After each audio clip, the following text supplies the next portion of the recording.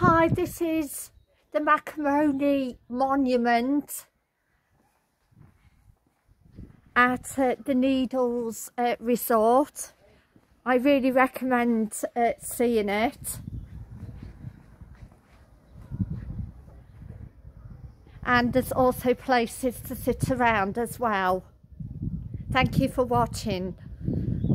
Bye for now.